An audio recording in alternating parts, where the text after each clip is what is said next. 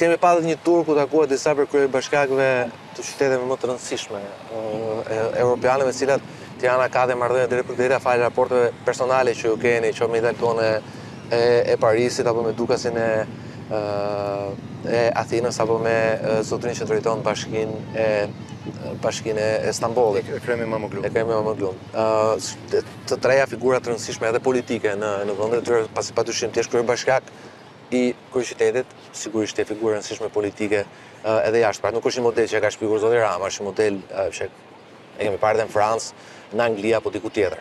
Uh, ajo që mua të jemi të sinqertë, nuk më pëlqen dhe e them sepse çdo njeriu i vijnë ditë edhe të vështira, kuptohet.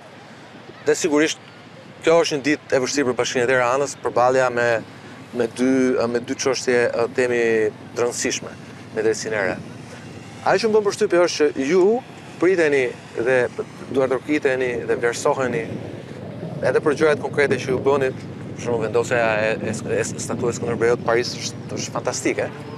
Që të kemi statujën e Skënderbeut në qytetin më të bukur në botë, padyshim, dhe më me histori në botë është fenomenale, por ajo që më bën përshtypje është që ë sikur ndihet një një, një lloj heshtje që s'un di se nga ata që normalisht duhet të ishin të parët që t'ju mbronin. Dhe cilët janë? Njerëz nga partia juaj.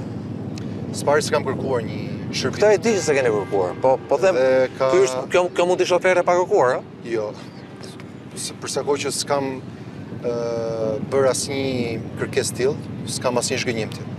Së pari sepse besoj që kolegët e Partisë Socialiste janë vetë në shumë beteja. Beteja në parlament, beteja në zonat e tyre elektorale, beteja për të çuar përpara kauza të komunitetit të cilat kërkojnë shumë shumë përkushtim dhe s'ua kam kërkuar diçka diçka të tillë, sepse besoj fort që në finale Puna mbetet dhe në finale në dallim nga drejtësia që kishim, ku praktikisht gardistët këtu mbrapa futeshin në bodrum dhe mbaheshin tre ditë, sot se është kryeministri i vendit, se është një ministër, se është kryetari i bashkisë, nuk i del garant askujt.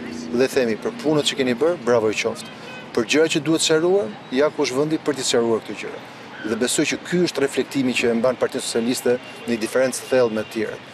Vetëm që mua Erion më bën përshtypje, më bën më bën përshtypje. Gjithashtu që unë s'kam bërë një sakrificë t'i kërkosh kryetares së bashkisë së Parisit. Patjetër, po duke për duke përdorur dhe jo, nuk fola për sakrificë, fola jo, që është një gjë po, shumë pozitive për Shqipërinë. Në sensin detyrën kam bërë. Se ne kemi edhe në Gjenevë, po, po nuk është njëlloj Gjeneva me në sens, po pra, Paris. Pikërisht në këtë sens edhe përdorimi i njohjeve personale dhe me Imamogluun dhe me Dukasin edhe me Parisin me shumë prej kolegëve të Italisë, është në fakt një instrument për të avancuar kauza që interesojnë Shqipërinë, interesojnë Tiranës, kështu që në këtë sens detyrën kam bërë dhe nuk pres as duartrokitje, as spaleta për diçka që çdo kryetar bashkie sot e nesër i Tiranës do ta bëjë në mënyrë non stop, ta promovojë, ta promovojë qytetin, figurat tona kombëtare, sheshin Skënderbej në Paris vërtet në kohën ku është vendosur ka qenë në në atë që quhet lagja 19, po ki parasysh që edhe Parisi vetëm zjerohet.